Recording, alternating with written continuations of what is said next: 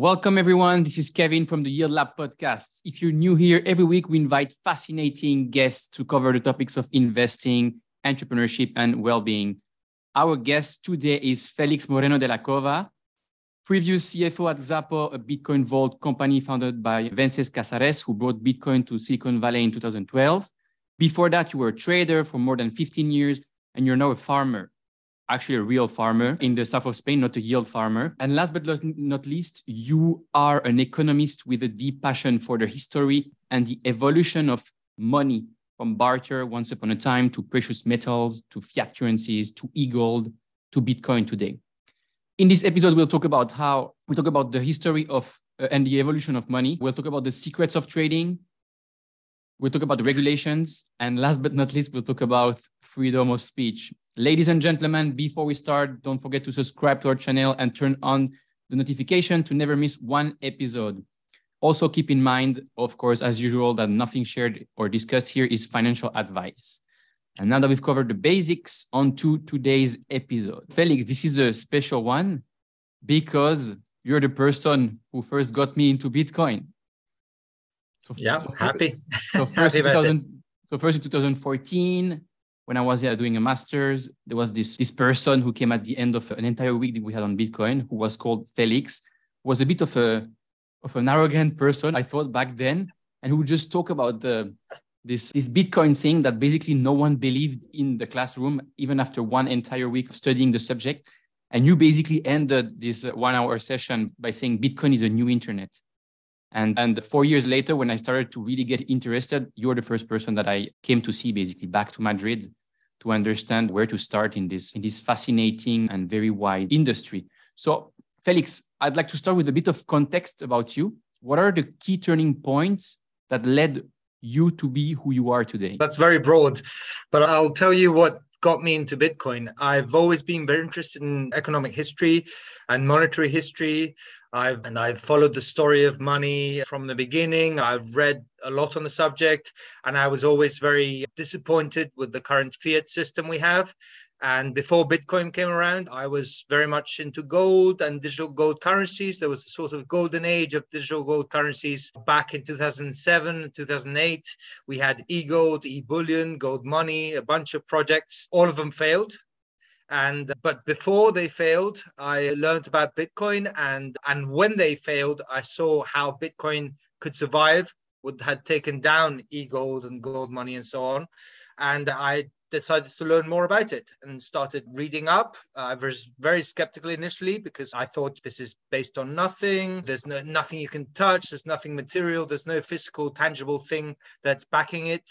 And um, but then I realized after a long time and being very skeptical very long that there's actually strength to that because it's a pure digital asset. Whereas if you make a digital gold currency for example you always need to rely on a third party to back it. You need a company, you need a government, you need someone to ensure that the promise to each unit, each gram of gold online is actually backed by a gram of gold in the real world and it's very hard to check on that you can do all the audits mm. you want but but it's very easy to falsify and also it's very easy to take down the company that's doing it whereas bitcoin by being completely decentralized and being open source and being transparent, it's taken a lot longer for it to gain value, to monetize. It also has a disadvantage of not having 5,000 years of history behind it. But it's so interesting how it's evolving very much in the same way the internet did to to millions and then hundreds of millions of users and hopefully billions soon. So what does it mean when you said that these e-gold projects failed? were people kind of buying some kind of digital asset but backed by gold somewhere but then the thing went to zero like people lost money how, how did it happen basically no, what well, happened actually each each of them failed for a different reason for instance e-gold was taken down by the government it was set up by a guy from Florida, and basically the FBI came up to him after he got to about six million users, which was a lot at the time before we knew Bitcoin. They came up to him and accused him of all, all kinds of things, money laundering, the usual, whatever, and he had to shut down the company. He and eventually he settled out of court, never went to prison, never did anything beyond home arrest. The project was ended. In the case of gold money, for example, the lawyers basically told them hey this is this is dangerous the US regulators are going to come after us. Is it worth it for us as a company to do this when we make most of our money with investors? And why do we care about payments? So they took it down preemptively. In the case of some others, smaller ones like eBullion and so on, the true rug pulls. So like the owners actually run away with the money, or in, in one famous case, there was even, I don't know, the lover of one of the founders killed someone. I don't know. Each of them was taken down in a different way but all of them had one thing in common. You had to rely on a company to ensure the backing. So once that company went away in some cases the money was recovered. In the case of egold even after the, there was a trial and and there was a liquidation authority that took over the company and uh, all the money was there. All the gold was there. All the i had tiny amount yeah. there, but I actually got it all back and more because the price of gold had gone up in the years that it took for the court case to resolve. Some of them were scammers, some of them were not, some of them are honest, but they all had the same problem. They were centralized. And that's why I'm so interested in Bitcoin and so interested in self custody of Bitcoin and in decentralized exchanges as well. Okay, awesome. So before talking about kind of gold and Bitcoin, let's talk about the basics you're an economist at heart. You wrote the Blondie Economist to explain economics simply. So let's start with the, some economics and basically the concept, the history, and the evolution of money.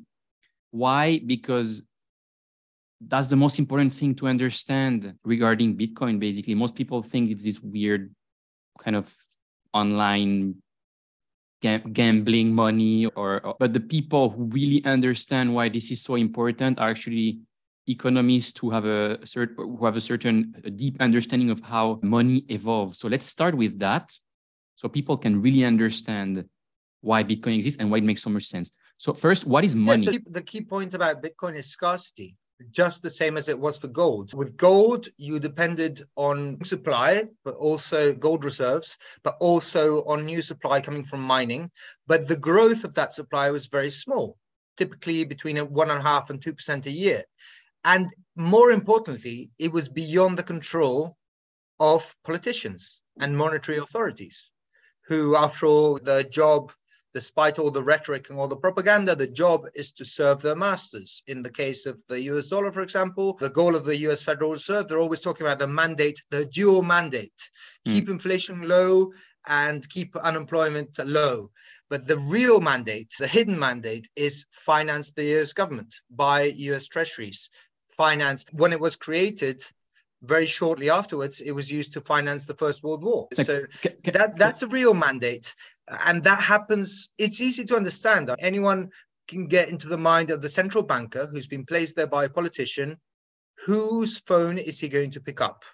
He's going to pick up the phone of the politician on whose whose his job depends on and and they're going to try and help those politicians. And the first thing now that we have the, another US debt crisis with the debt ceiling approaching the first thing that they want is please monetize our debt. But to keep it short eh, they because that is their priority they will always print more than is advised by what the economy is needed. And obviously you know about the cantillon effect and how those who get the newly printed money first benefit from it and those who get it last by it and it's harder to see in developed countries like the US because the rhythm is slow. They've managed to keep the scam, let's call it that, because it's what it is, the scam at a tolerable level. 2% inflation, whatever. So people have the savings diluted very slowly. But you can see very clearly in countries like Argentina or Turkey or Nigeria, where inflation is in the double digits and sometimes triple digits, or Venezuela or Zimbabwe, back when Gideon Gono was printing those trillion dollar bills, Zimbabwe dollars, of course. There you see the Cantillon effect very raw. The guy who gets the money today is at a huge advantage compared to the guy who gets the money a month from now and they can profit very easily from it and and that but that all goes back to who controls it. Is it a level playing field for everyone where the rules are the same for everyone? No. With fiat money, the rules are different from the people close to power than from the people who are not. So where does this come from? Basically, you talk about financing the First World War, but it actually comes from a long time before. So if we look at the history of money, can we basically talk about this concept of hard sound money, talk about the Mississippi bubble, talk about the French Revolution, so sure. people can uh, understand uh, that this thing already exists since a very long time. And basically we go through the kind of history, the history, maybe from people who are just barred. Book. There's a lovely book called 40 Centuries of Price Controls, How Not to Fight Inflation. And, and it goes back to the Babylonians. The, Babylon, the Code of Hammurabi, almost 5,000 years, sorry, yeah, 5,000 years ago, has, has price controls in it because they're having problems with inflation. But since we don't have that much data on that, we have much closer examples, for example, from the Roman Empire when they started debasing the currency. We actually have a perfect chart because there's so many Roman coins from different uh, centuries that have been collected. You can see the silver content in the denarius and how it was reduced slowly at first and then very quickly up until the collapse of the Western Roman Empire. And a big part of that was the emperors were out of money to pay the legions. As simple as that. So they started counterfeiting, they started debasing the currency, and that obviously led to price rises, to inflation. Inflation is first and foremost a monetary phenomenon. It's more complicated than that, but that's the biggest effect. If you debase the money, which nowadays is done by money printing. Back in the day, it was done by taking 10 denarius coins and using the silver to make 15 with few, less silver in them. Mm-hmm. And in fact, there's there's the edict on maximum prices by Diocletian, a Roman emperor who had to put in price controls because he was debasing the currency. So people were ra- raising prices to counteract that effect, and uh, he you, had to put the death sentence on people who are doing that. Can you explain this in as I mean in an easy fashion, easier fashion, if you were talking to your mother, for example? So maybe you give us an example. You say, okay, I'm a Roman emperor and I'm running out of money because I'm spending too much. So then what I do is I what does that mean? I debase the currency. I can create debt, means, debt. Say you ha- I have 10 gold coins and to use easy numbers, one gram of gold each. And I take those 10 gold coins, I melt them, I, I make 20 coins with half a gram each. That's debasement. I mix it with some base metal like bronze or whatever, or copper, sorry.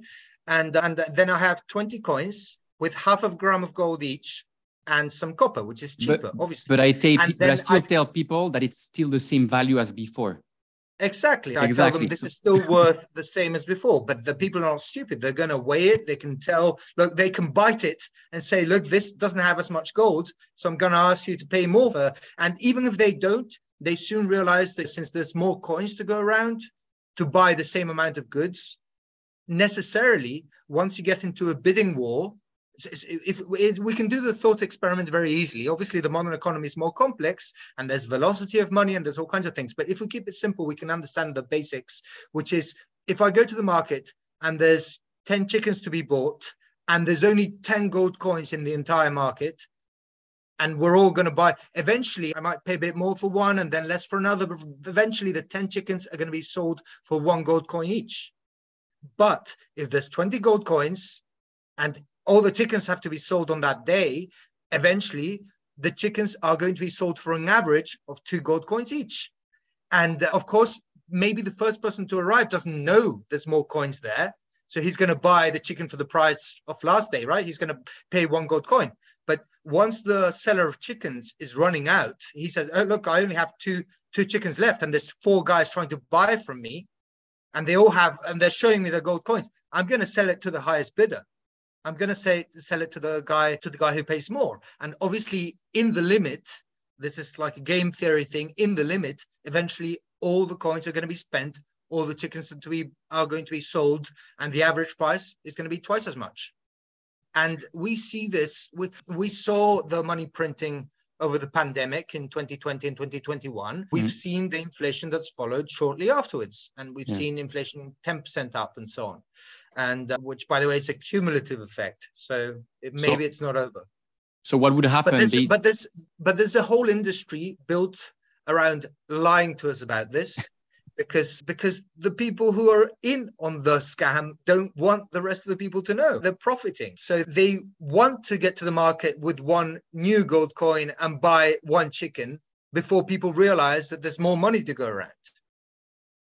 So as a kind of recap of what was done already a long time ago is basically the Roman emperors or someone would just say, oh, I can kind of create money out of thin air by by basically saying, okay, a, a, gold coin is not worth one gram anymore, is 0.5, but telling people it's still worth the same. But people will realize, so will ask for more. One that are selling basically will ask for more. And so they what happens eventually? It's a process. They don't yeah. notice so when and, the market opens. They notice over time. Yeah. So this is what we call basically inflation, which the more you do this kind of money printing or like fake debt creation, the more there is this inflation. And what you said before is that they had at some point to prevent, I guess, the merchants to increase their prices with this price control that you told, talked about, and that basically they would say, okay, yeah, price controls are a consequence of inflation. So the first day, the, there's ten coins in the market, right? So people buy the ten chickens, one coin each. The second day, there's twenty coins. People start buying at one coin each, but by the end of the day, they have to spend all the coins, they have to buy all the chickens. It's two coins each on average.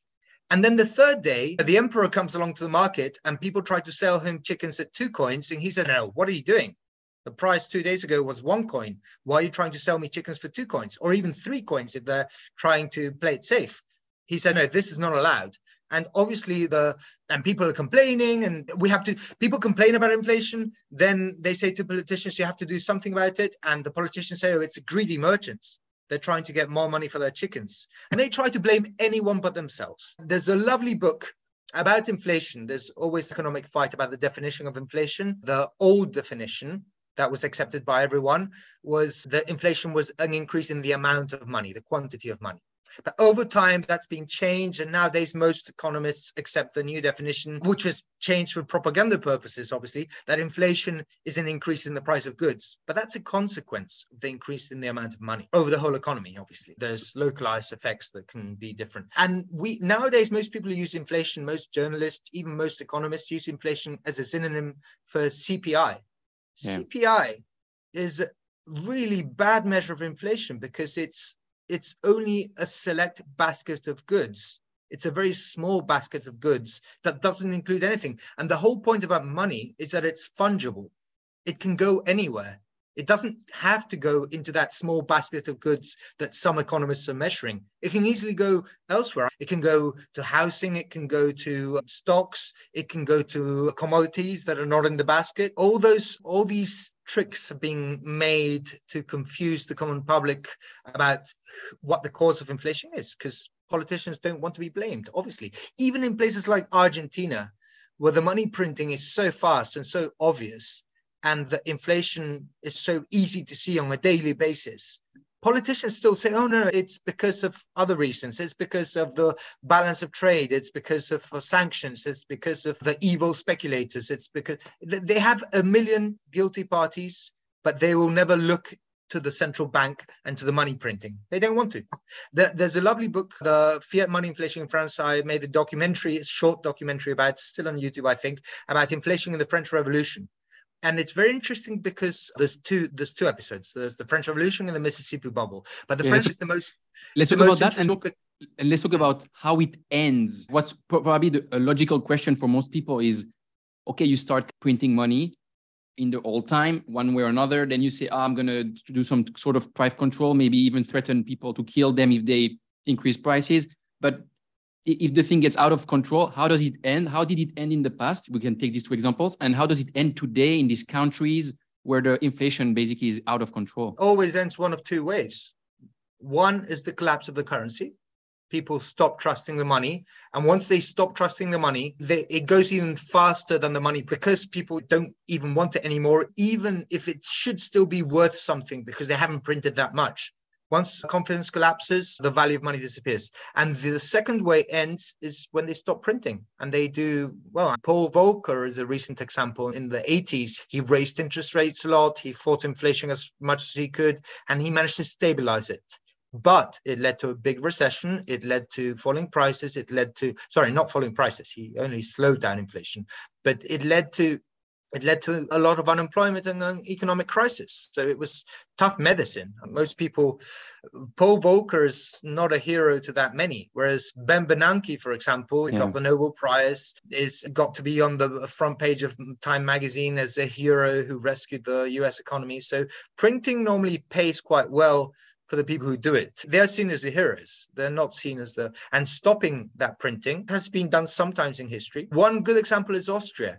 Austria had a hyperinflation in the 1920s after the First World War, same as Germany, but they managed to stop it. And they did two ways. They stopped printing, advised in part by Ludwig von Mises, an Austrian economist at the time, and they also cut off all the currency that was coming in from the rest of the Austrian Empire. The Austrian Empire collapsed, and Austria was left as a small nation, but the currency was worth was used in all the empire. So they basically had to stamp the Austrian shillings, I think it was, the shilling notes with a thing with a little stamp that said Austrian shillings for Austria.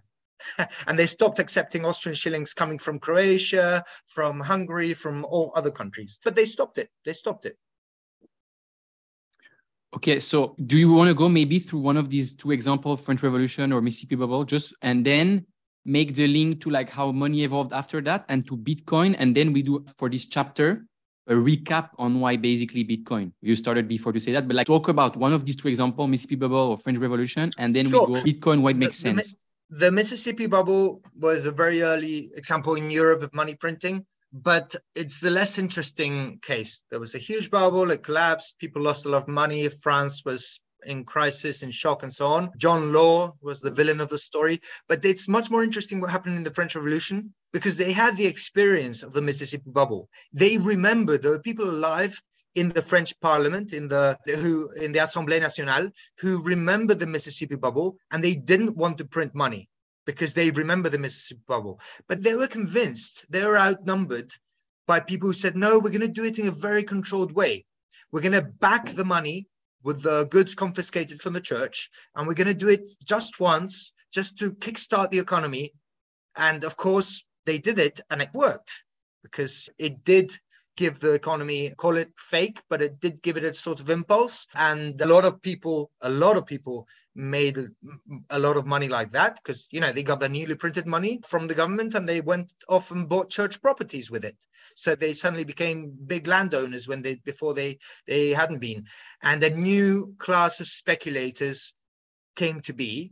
And of course, those people whose mode of life, his business, they pressured for more, of course once the money printing ran out, they wanted more. They wanted more, and they convinced the Assemblée Nationale, and they bribed the ministers, and they got a second printing, and then a third, and then a fourth, and eventually, and it's a very illustrative case because it reminds me very much of QE and TARP. I don't know if you remember it in the Great Financial Crisis was going to be a one-off thing, and then we got QE2 and QE3, and a bunch of people who done really well out of QE wanted more.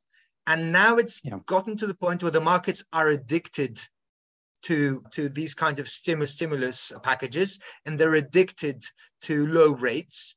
And now that we're seeing interest rates go up it could be quite troublesome. There's a lot of this that aren't used to this. They're used to easy credit.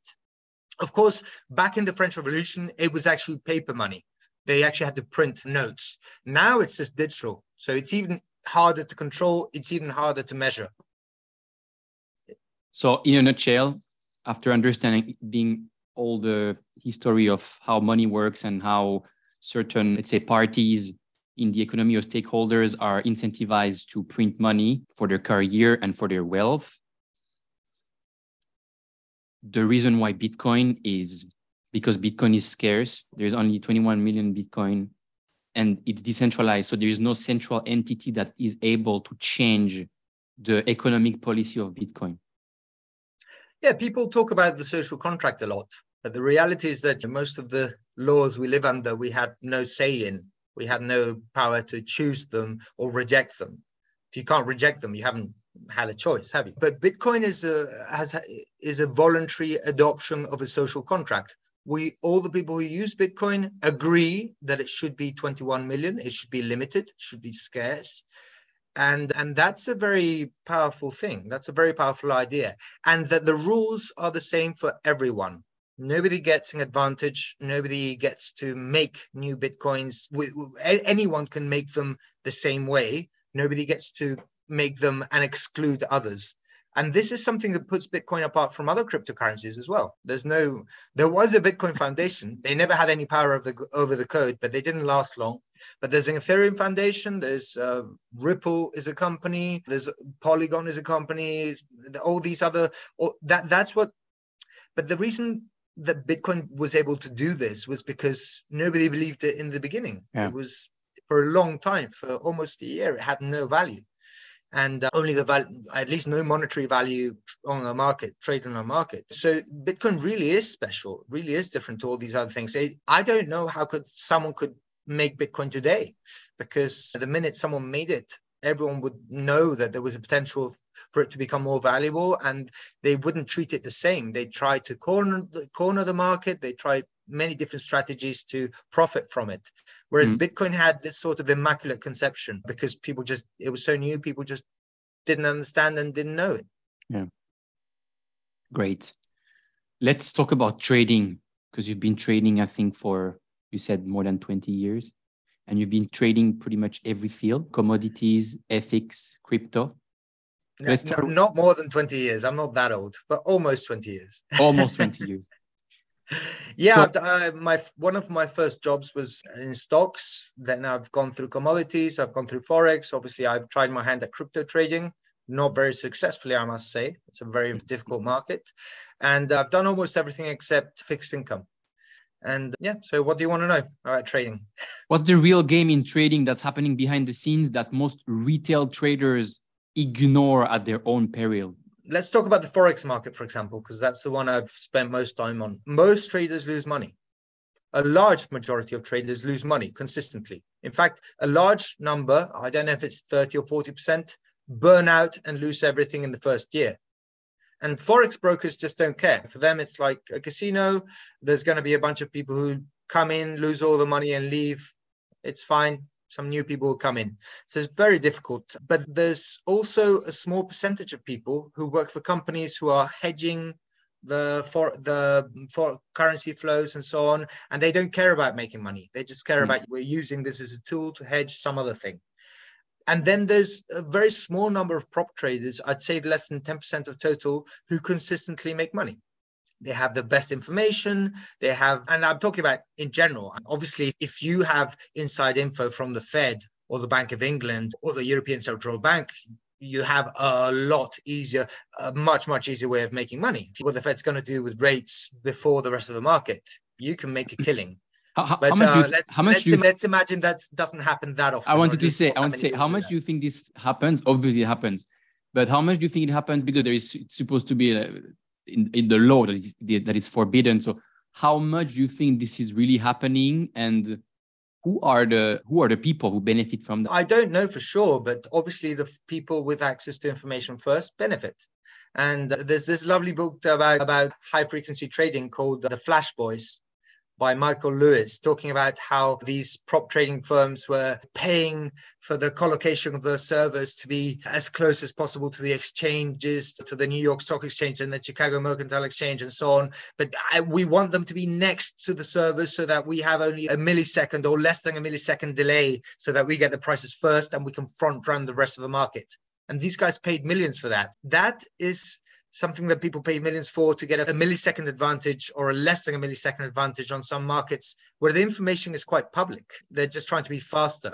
Imagine those markets where the information is not public, like the Fed, the basically the centralized authorities that determine important things in the economy. There, there's a fact there's a, an ETF that follows US politicians yeah, I would say there's the Nancy Pelosi portfolio tracker also on Twitter. Yeah, that's so funny. No, but they've actually made and, two ETFs, one for the Republicans, one for the Democrats, because they do so much insider trading that and it's and no, nobody has gone to jail for insider trading in Congress. Nobody, and they. But even that is like the low level game for the insiders because yeah. laws take a long time to develop they have to be written there's a bunch of lobbyists involved you you you have a lot of information leaking for months before the law is, is voted on. Even if Nancy Pelosi has bought, I don't know, Nvidia shares or because they're going to ban Chinese chips or the other way around or whatever, that's a very slow game. Whereas the, the Fed decision, the FOMC decision on rates is something that's decided in a yeah. meeting and published on the same day. Inside information there is is worth much more than stuff on stocks and on laws. But who does it? I don't know who does it. I don't know anybody who does it uh, personally. Or but, they wouldn't uh, tell you. they wouldn't tell me, but it stands to reason that the people closer to those who make the decision yeah. are the ones who have the opportunity.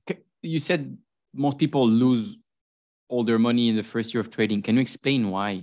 Is it because they're using leverage? Is it because they can't control their emotions? Is it a mix of that? Is it is there another reason? What should well, the, people the, who think the that they can rule... make money beside their job or maybe quit their job to become a full-time trader because they can do it remotely from anywhere? What should they understand about the truth of this and the reality of this of all these well, courses first, that are sold first, online? The first rule and the hardest if you want to survive as a trader and the hardest rule to apply, I've been the first one to break it in the past and regretted it obviously is is controlling your losses. So what's it called? Yeah and stop loss and uh, and basically risk control. So basically you never say you're doing forex to keep it simple you never risk more than 1% of your portfolio on one trade.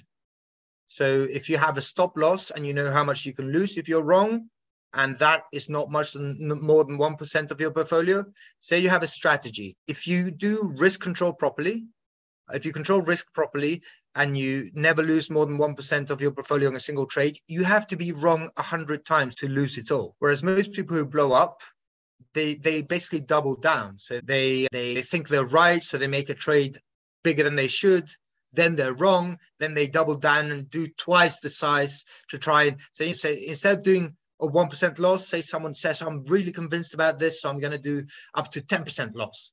And then they're wrong and they lose 10% of their portfolio in one trade. Then emotions come in and they, yeah, I have to recover this somehow. So they do double or triple and, and they're wrong again and they lose 30%. So now they've lost 40% of their portfolio in one day. And that's and then they start underwater. So now the psychology is all screwed up. They start innovating strategies. They start doing things wrong. And they and also because of leverage, it's very easy to bet on something with more money than you have. Some forex platforms will give you 300 times leverage. so basically, if the market moves 3%, you've lost everything.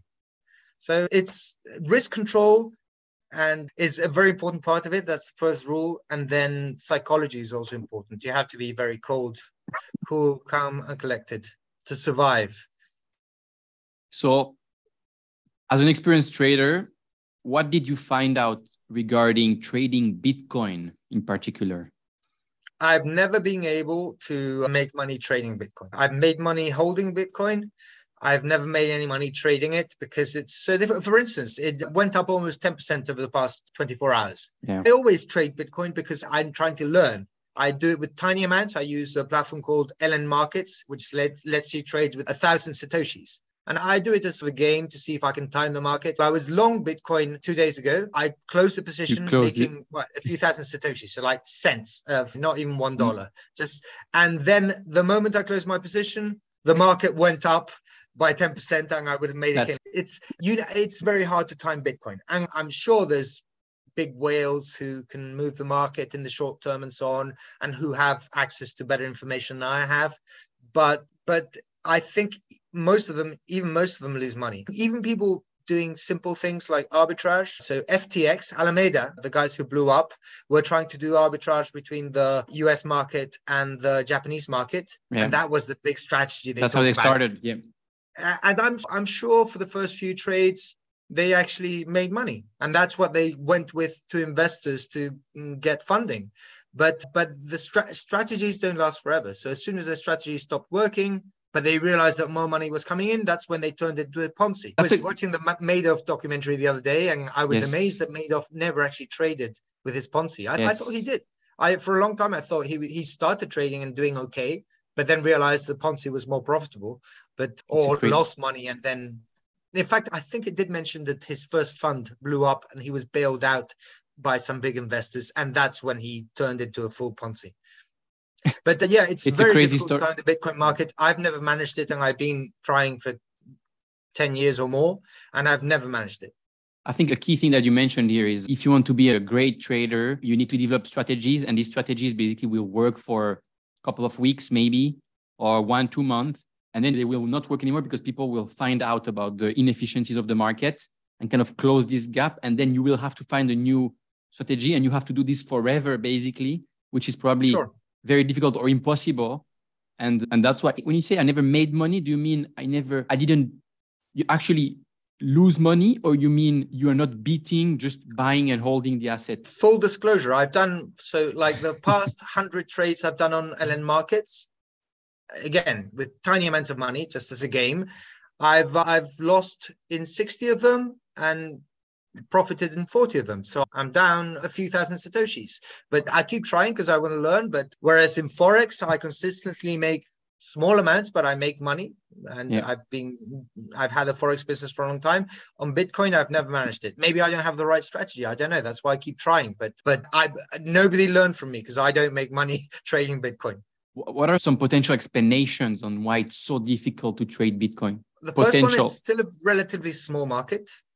Relatively, even though it's grown immensely, it's still relatively small market, and and it's very volatile. And there's and it's so decentralized that the drivers of the market can come from anywhere. China banning Bitcoin, we've seen that 15 times. There's no way I'm gonna, I could react quick, fast to that, but I'm sure there's guys with AI and high frequency trading yeah. algorithms that can pick up on the Chinese news faster than I can. Open markets are very competitive. Forex is very competitive as well. But if you focus on something like I do on Eurodollar, it's it's a bit it's a bit easier to stay on top of things. Yeah. Okay, great. I think uh, I think it's pretty clear. It's pretty clear. It's extremely difficult to make money trading Bitcoin, if not impossible in the long term. I know a few guys who made a lot of money with the leverage and all that stuff, but they blew up many times before that. They learned, and they probably also have the thing that most people don't have. And okay, interesting. Let's talk about regulations. So you were CFO at Xapo, which is a mm-hmm. Bitcoin vault company and you witnessed firsthand the troubles that Bitcoin exchanges have with banks.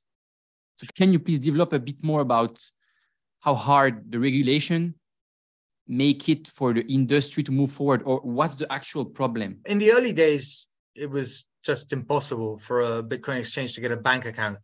Uh, it was too high risk.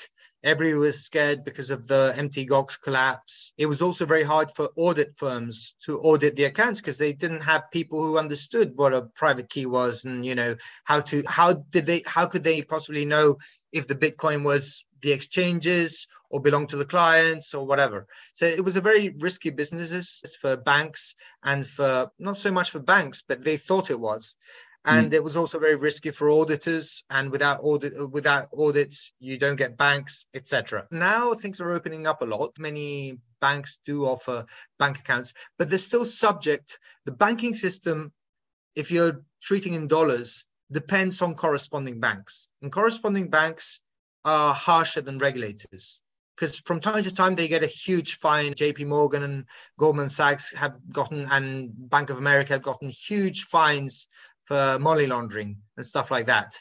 And, and from time to time, oh, JP Morgan pays a $6 billion fine for money laundering from the Mexican drug cartels. So yeah, but that's part they, of the business. yeah, that's part of the business. They pay the fine. They don't give up the profits that they made with the business.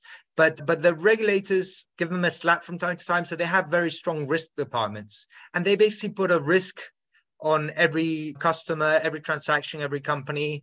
And and regulators hate Bitcoin because it's it's something very new. First, because it's something very new and they don't understand it. They have very few people who understand it at the regulators. Secondly, because they see it as a threat to national currencies. And that if you're the almighty dollar, that might not seem very it might seem very far off. But if you're the Argentinian peso, it is a very real threat. You don't want people using the competitor. And basically, regulators, the way they do it is instead of making a law that says banks can't open Bitcoin bank accounts, they will just say, no, you have to label them as high risk. So if the bank's risk profile is already higher for whatever reason, they will just say, no, look, our risk department doesn't allow this. Our compliance department doesn't allow this. And in this is a very big risk because some companies, for example, stablecoin companies, we're seeing yeah, right week, now. Yes. Because it doesn't you don't need to have a law to shut them off. All you need to do is make a call from the regulator to the banks and say, hey, why are you doing business with these guys? This is high risk. You could lose money. you're open to lawsuits, you're open to regulatory action, and then the guys will close the bank accounts. And if you're someone like, I don't know, Tether, for example, or Binance USD or whatever, you need the bank accounts because, you know, the backing, we're back to the e-gold stuff. You need the company to prove the backing. So that's when someone comes and wants to convert the USDT or the BUSD to dollars in the bank account or to some other currency, they need the bank to do it. That's why I'm so interested in Bitcoin self custody and building the Bitcoin circular economy, where people yeah. earn Bitcoin and spend Bitcoin without having to go through the banking system. Because that's where you see the real power of this. You know, the banks are part of the fiat system and they are subject to the regulators and they're always going to fight against the competition. Some of them, like Silvergate Bank in the US, which is currently running into a lot of trouble, will try to be a bit more innovative but they're fighting against the tide. They're fighting against the current. So uh, this is the next topic, but just before moving on to that, why is it so with these regulations? Is it because the regulators are trying to protect the consumers? Let's say now what's happening because FTX, etc. Is it because of lobbies in the bank industry? Is it another reason? Is it a mix of different reasons? Like, why is this? The first reason would be fear of innovation especially in the European Union. We've seen that we've seen that with internet.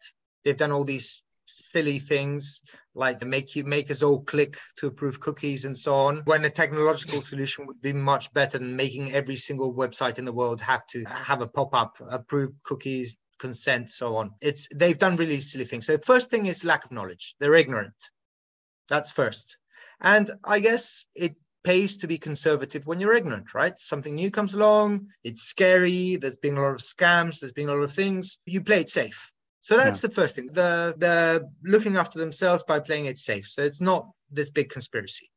When new regulations come along, like the case of MiCA in in the European Union, which is the markets in cryptocurrency in crypto assets regulation, which keeps getting delayed, that's when the lobbies come in.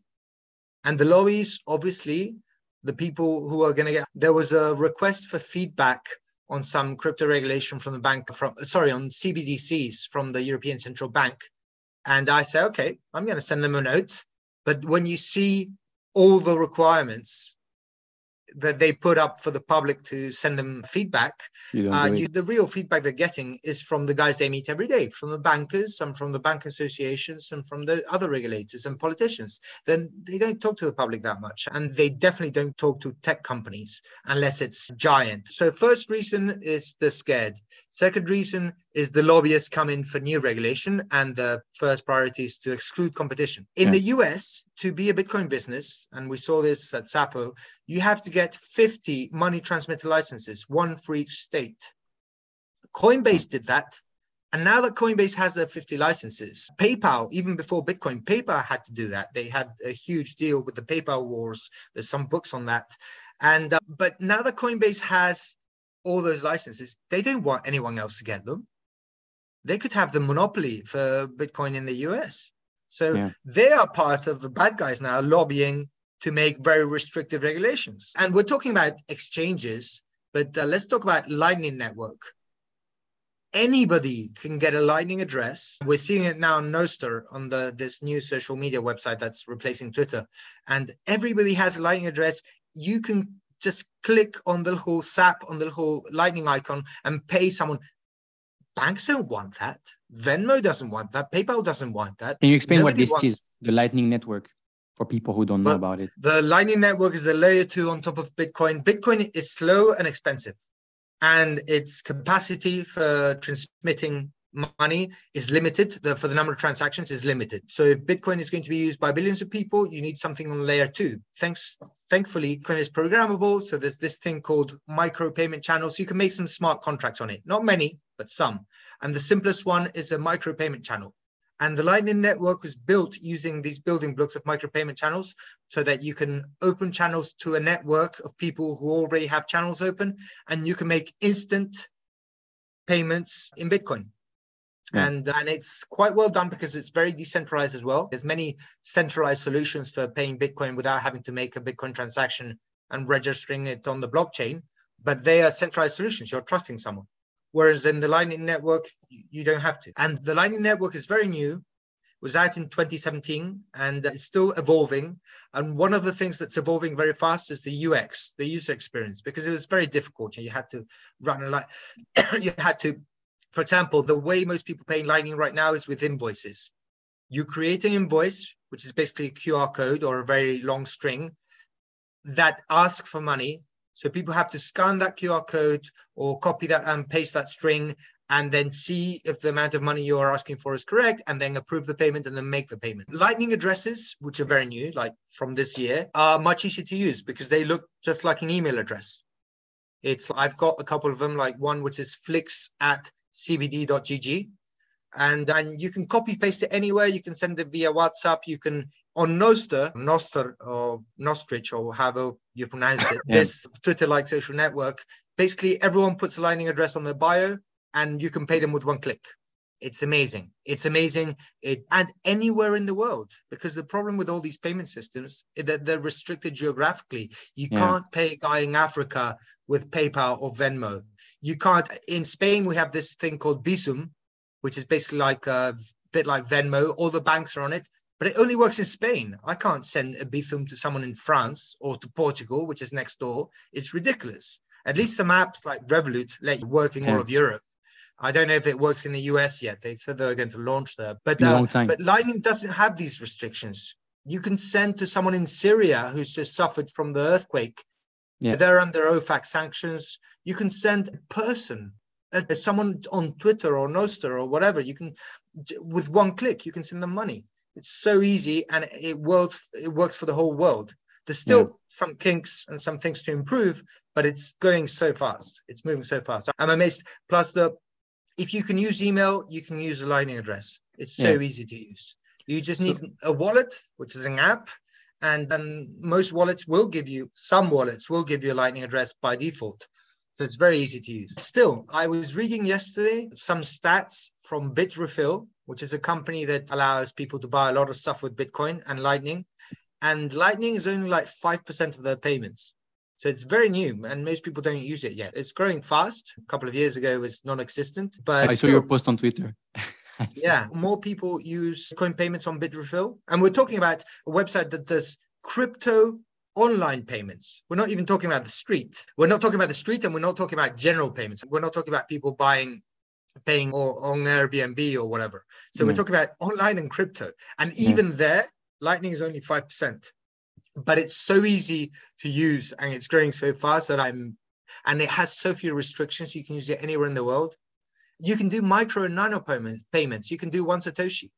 You can send people one Satoshi just to say hi. It's amazing.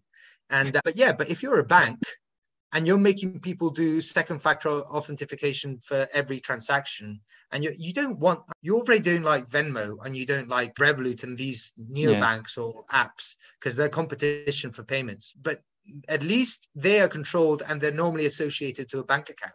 Yeah. But what are you going to think about someone not having to ask permission to pay anywhere in the world instantly? No, banks don't like it. They, yeah. they eventually they'll have to use it themselves, but now they hate it. So this Bitcoin. In, in, sorry, just to be just to go a bit more on the point. Right now, AML regulations means that any medium-sized transactions have to have some kind of compliance follow up. So what's a medium-sized transaction? Uh, above three thousand dollars, you have to do some kind of compliance. Above fifty thousand, you have to do a lot of compliance. If you buy a house or something, you're going to have to ask for funds, a bunch of papers from the guy paying. Yeah. You have to have a very complete profile of the customer, and that this is regular activity, because otherwise they're, they're going to it's going to they're going to have to file a suspicious activity report or something. But that's a lot of work. You can't automate that. You need people on that. So for banks, it's very expensive to do this kind of thing. And microtransactions, they're just not interested, especially yeah. free microtrans free instant microtransactions. There's no way they can handle that kind of compliance burden. So they're not going to do it for a long time until they have the tools to do it. So they don't want anyone else doing it. As simple as that. So as a kind of summary, like some people say Bitcoin is freedom, Bitcoin is, is fungible freedom, which leads us to our last topic of today, which is freedom of speech that you particularly love too, which is because it's also very linked to this, this Bitcoin idea. and particularly in the social media world. So, what are the key issues today regarding freedom of speech on centralized social media, such as Twitter? And maybe we can well, talk a bit about that, the, the work the that Elon thing. is doing.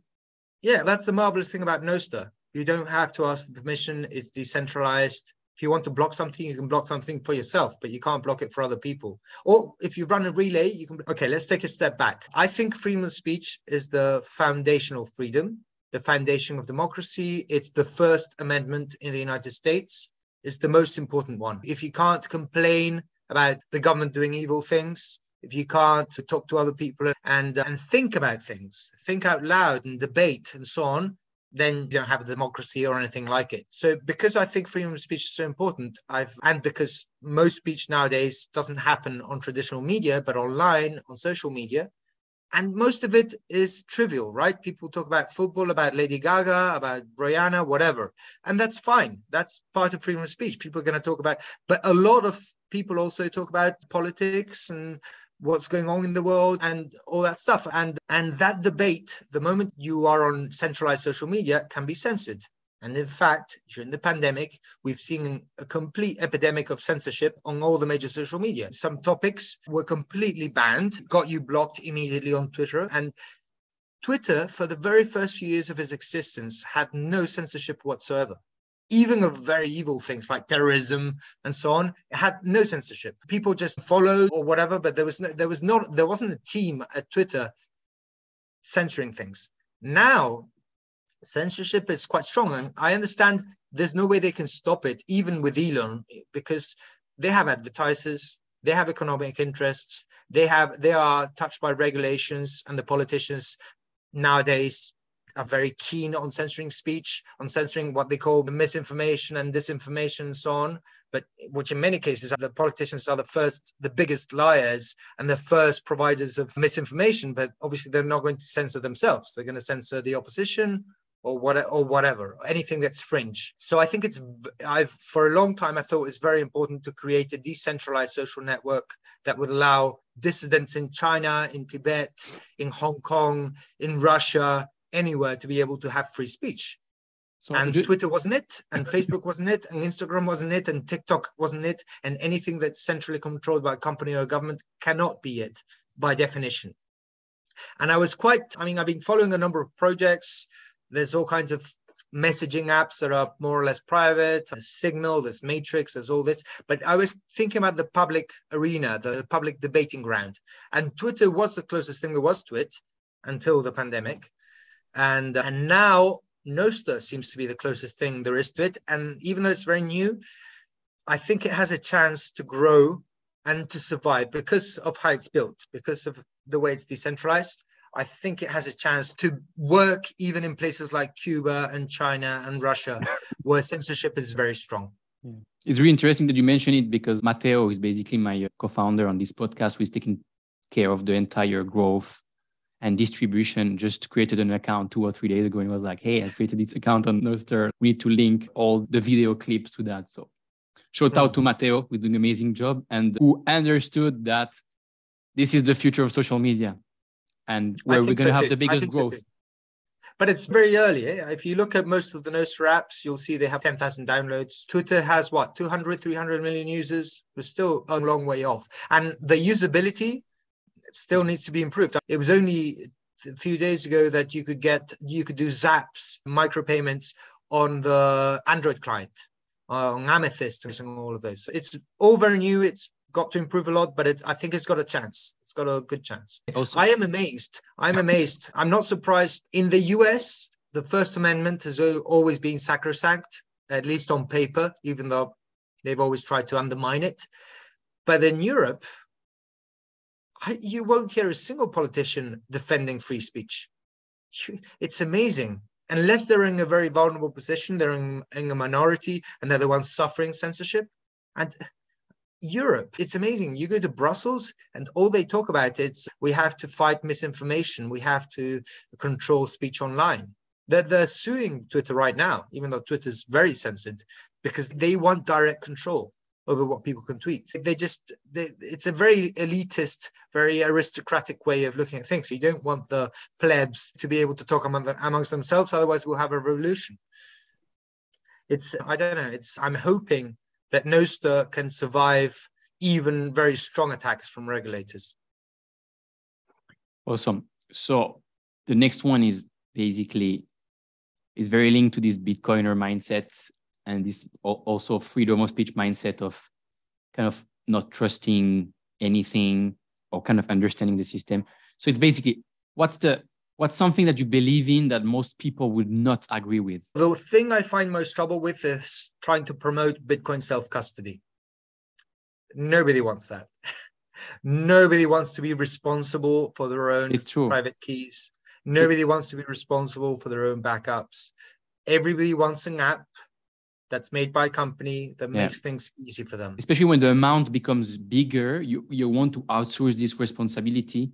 Sure. Because sure. it feels in, in terrible fact, I was talking to, to guy, that... I was talking to a guy from Hong Kong yesterday. I was trying to convince him because I'm very much into decentralized exchanges. I've been collaborating with Bisq for a while. Network, it's the only real DEX that Bitcoin has. And I was talking to this guy from Hong Kong who was complaining about all the troubles that Binance is going through. And I say, why don't you try Bisq? It's decentralized exchange. And he says, no, because it's the responsibility. What if I lose money? And how are you going to lose money? But even if you do, you can lose money with Binance if they shut down or if they're doing FTX or an Mt. Gox. Yeah, but if that happens, I can blame them. Yeah, exactly. but if I lose money with self custody and with decentralized exchange, the fault is mine. Yeah. So most people like that. Most people, Makes I mean, we sense. are not used. We're after generations of keeping our money in the bank nobody's used to it. So it's a bitcoin is very much an educational it's not only educating people to be responsible for their own money it's also educating them to save because number go up uh, over the long term. And it's educating them about so many things but it's very slow work very and slow. i would even to that i would even add to that that people don't want to take the responsibility of owning their own money. That's why they use banks but they also don't want to take the responsibility of investing their money that's why they give it to the financial system who does a lot of different stuff, takes a lot of fees that compound over time, that basically make you probably retire much later than you could if you're hmm. doing it yourself. That's an entire other topic, but we don't sure. like no, to no, take no. responsibility, basically. It's a very good topic. Once you trust, you have trust as to third parties, they're going to want to cut and it's fair in some it's instances fair. but once they get people used to that they, they will abuse it. And the only thing that's stopping them from abusing it too much is competition. And that's why monopolies are so bad. So at least if a bank is scamming you with fees you can say hey goodbye i'm going to another bank which is going to scam me. Is promising that they're going to scam me a bit less. But but there's a monopoly with like with a central bank and with the currency you have no choice you're stuck yeah. in a very scammy system. And over time, the guys in charge realize this and will compound and will increase the amount that they take, will increase their rent, the amount that they extract. And that's inflation is just one way of doing it. There's other ways exactly. of doing it. I mean, there's but, coming but back full circle. Very, a good one because nobody understands it. Coming back full circle, basically. If there is a possibility to exploit the system people who have the power will do it. Yeah, power corrupts. So the, the yeah. way to to reduce that corruption is to reduce that power, decentralize it. Yeah. So if there was a summary or key takeaway, which might be what you just said basically, but you can repeat it or say something else. If there was a summary or key takeaway that people should remember from today, what would it be? I'd I'd recommend that people learn about Bitcoin, learn about self custody, and also they learn about the Lightning Network and payments. I think once you've made a Lightning payment instantly to the other side of the world, there's no going back. Awesome. Thank you so much for your time, Felix. Where can the audience find you and connect with you? I'm on Twitter at Flix1 and I'm on Nostr, but I don't know how to share an npub yet. So that's for the next time. We'll meet on Nostr very soon. Thank you everyone for listening and watching. Please smash the like button and give us your feedback in the comments. Highlight will be posted on YouTube, Twitter, Substack, LinkedIn, Instagram, and TikTok. So follow us and Nostr. So follow us there to get exclusive access to the special content and promo codes. And I'll see you all in the next episode. Thank you very much, Kevin.